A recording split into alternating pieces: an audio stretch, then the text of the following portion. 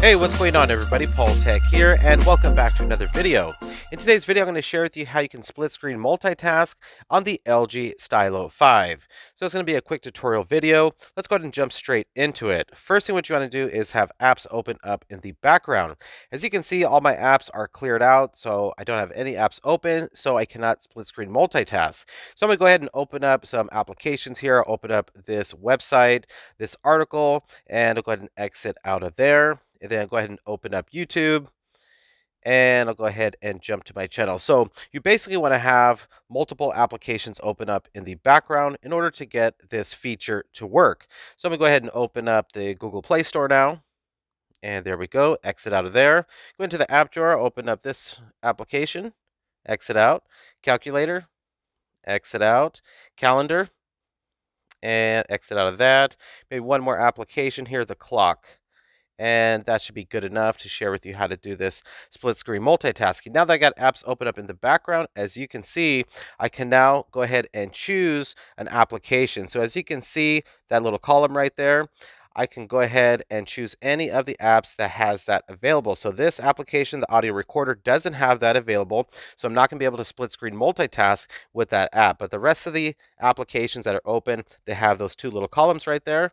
And as you saw, I just press it, it's up on top. And now I can choose from another application from the bottom. So I'll go ahead and open up SamMobile here go ahead and take a look at this website.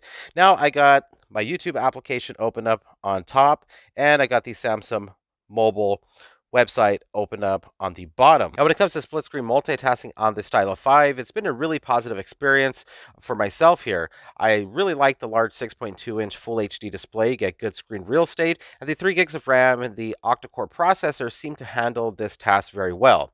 Now when you want to go ahead and close out an application, you just drag from the center there and either to the bottom or all the way to the top to open up either application that you prefer, just like that. So I have YouTube opened up on its own now.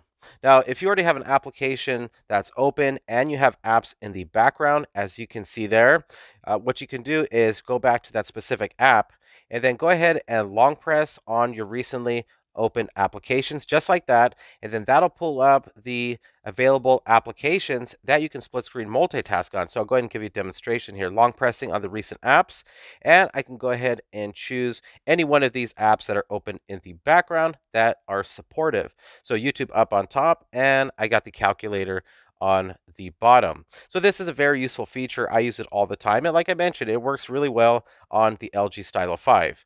If you're already on the split screen multitasking mode and you exit out, you'll actually have a window up on top of the app that is open. And all you got to do is just go back into your recently used apps, click on an app, and it will open up both at the same time. And then just drag up to the top to close it out.